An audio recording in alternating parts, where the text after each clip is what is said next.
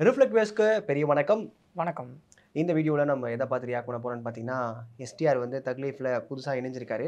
ஏன்னா அதுக்கான ஒரு அனௌன்ஸ்மெண்ட் வீடியோ தான் வந்திருக்கு. அதை பார்த்து ரியாக்ட் பண்ணலாமா ப்ரோ ஓகே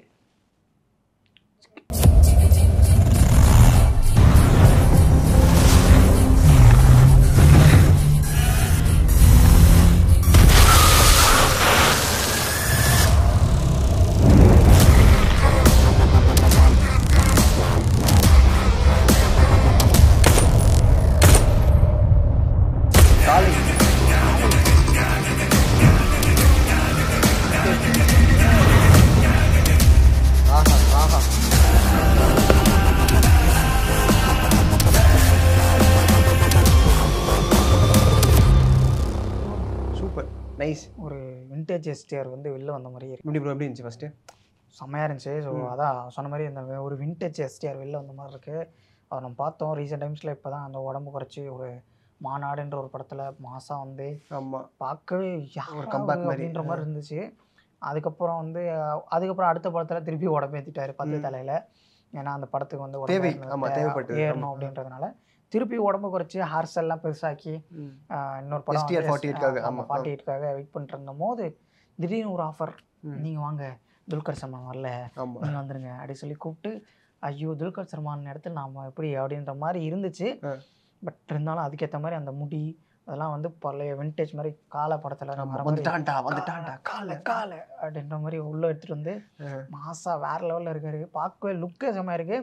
அண்ட் இதுக்கு முன்னாடி ஒரு போட்டோ வந்து ரிலீஸ் ஆயிடுச்சு. கமலோட ஆமா ஆமா. ஆ, அந்த- ஒரு குட்டி கம்மியா ஒரு முடி வச்சு அவங்க பையனா நடிக்கிற மாதிரி சொல்றாங்கன்னு தெரியல. அந்த மாதிரி வந்திருக்கு. ஸோ அது வேற கொஞ்சம் சத்யா அந்த சத்யாவோட. மாதிரி இருந்துச்சு லுக் ஸோ ரெண்டு பேருமே அதான் சத்யாவுடைய மறுபடியும் ஒரு. இன்னொரு வெர்ஷன் இது ஒரு காலையோட வருஷம் மாதிரியே. இருந்துச்சு. அப்படியே அந்த கெட்டப்பு ஏன்னா இது வந்து நிறைய பேச சத்யாவோட கெட்டப் நல்லா பேசப்பட்டுச்சு. கொஞ்சம் மாசா இருக்கும். அதே மாதிரி காலை கெட்டப்லயும் ஆமா. செம்மையா இருப்பாரு. மேபி மணிரத்னம் அந்த கெட்டப்ல கேரக்டர் வேற மாதிரி மாத்தி கூட பண்ணியிருப்பாருன்னு நினைக்கிறேன். ஓகே அண்ட் இதை பார்க்கும்போது இந்த ஒரு அனௌன்ஸ்மெண்ட் பார்க்கும்போது செக்கச்சவன் வந்ததில்ல பார்த்தீங்கன்னு வச்சுக்கோங்களேன் அருண் விஜய் அரவிந்த் சுவாமி விஜய் சேதுபதி இவரெல்லாம் இருப்பாங்க மொத்தமா அந்த கார் ஓட்டும் போது எல்லாம் சுட்டுப்பாங்க மாற்றி மாற்றி. அது மாதிரி ஏதாவது கார் ஓட்டும் போது சுட்டுப்பாங்க. அந்த சீன் மாதிரி இருந்துச்சு. The சேம் டைம் என்னாச்சுன்னா எஸ்டிஆர் ஃபார்ட்டி எயிட் படத்துக்கு நடுவில் எப்படி இவர் கமிட் ஆனாரு அப்படின்ற மாதிரி ஒரு கேள்வி வந்துச்சு. ஏன்னா அதுக்கான போஸ்ட் ப்ரொடக்ஷன் ஒர்க் போயிட்டு இருந்துச்சான் அதுக்கான சிஜி ஒர்க்ஸ்லாம் நிறைய நடக்குமா? அதனால நீங்கள் அந்த கேப்பில் நீங்கள் சும்மா தானே இருக்க போறீங்க. சரி அப்படியே ம மணிரத்னம் கூப்பிட்றாரு. அப்படியே அந்த கேப்பில் ஃபில் பண்ணிடலாம்னு சொல்லிட்டு இப்போ தக்லீஃபில் இணைஞ்சிருக்காரு. தக்லீஃபோட ஸ்டார்டிங் வீடியோ பார்த்துருப்பீங்களா ப்ரோ ஒரு மாதிரி முடியெல்லாம் வச்சுக்கிட்டு ஒரு மாதிரி இதெல்லாம் போட்டு. ஆ ஆமா வித்தியாசமா இருப்பாரு. ஆனா அந்த கெட்டப்புக்கும் இதுக்குமே சம்மந்தமே இல்லை.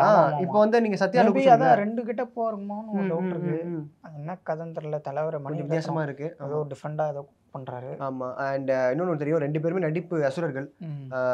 இவர இவருக்கு ஈக்குவலா இவருன்னு சொல்லலாம். ஏன்னா அந்த அளவுக்கு சினிமால ரெண்டு பேருமே எல்லா கிராஃப்ட்லயுமே வந்து கரைச்சு குடிச்சவங்க மாதிரி தான் சொல்லலாம். அவ்வளவு தெரிஞ்சவங்க ரெண்டு பேரும் ஃபர்ஸ்ட் டைம் இணையறாங்க, ஒரே ஆமா. ஒரு படத்துல இணையும் போது பஞ்சமே இருக்காது தனியா பண்ணாலே நமக்கு ஒரு மாதிரி இருக்கும். கமல் தனியா பண்ணாலே ஒரு மாதிரி இருக்கும். ரெண்டு பேரும் ஒரே மாதிரி பண்ணும்போது ஒரே படத்துல பண்ணும்போது.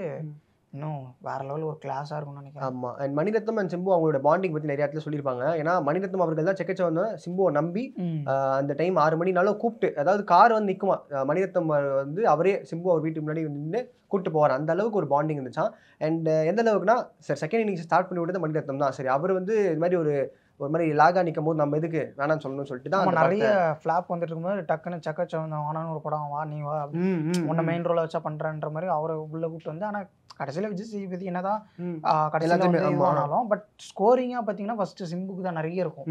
சிம்பு இவரு அருண் நிறைய இருக்கும். கடைசியில தான் விஜய் சேதுபதி வந்து இது பண்ணுவார். போட்டிருக்காங்க. ஆமா ஆமா. ஸோ அதனால வந்து அவரை கொண்டு வந்து ஐயோ உடம்பு வச்சிருக்காரு இவ்வளோ இது பண்றாரு ஃபிளாப் இவரை வச்சு நம்ம ஏன் பண்ணணும் நினைச்சிருந்தாருன்னா சிம்பு இன்னைக்கு இன்னமும் கொஞ்சம் ஏதாவது ஸ்ட்ரகிள் ஸ்ட்ரகிள் இருந்திருக்கலாம். அப்போ ஒரு கம்பேக் கொடுத்து அங்க இருந்து ஐயோ நம்ம நம்ம போய் ஒரு படம் கொடுத்துட்டாங்க. இதுக்கப்புறம் நம்ம ஏதாவது பண்ணுன்றதுக்கு அப்புறம் தான் அவர் உடம்பு குறைச்சி மாநாடு படத்தை சைன் பண்ணி. அதுக்கப்புறம் அதில் ஒரு கம்பேக் வந்தாரு. ஆமா. ஸோ இந்த படம் மூலியமா ஒரு தெரியான ஒரு பெர்ஃபார்மன்ஸ் இருக்குன்னு நாங்கள் எதிர்பார்க்குறோம். And நீங்க இந்த Thug Life new thug in town அப்படின்ற அந்த ப்ரோமோவை பார்த்து உங்களுக்கு என்ன ரியாக்ஷன் தோணுது அப்படின்றது கீழே கமெண்ட் செக்ஷனில் மறக்காம கமெண்ட் பண்ணுங்க. அண்ட் தென் விடைபெறது உங்கள் சுகுமாரன். உங்கள் ஆர்கே ஓ சூப்பர்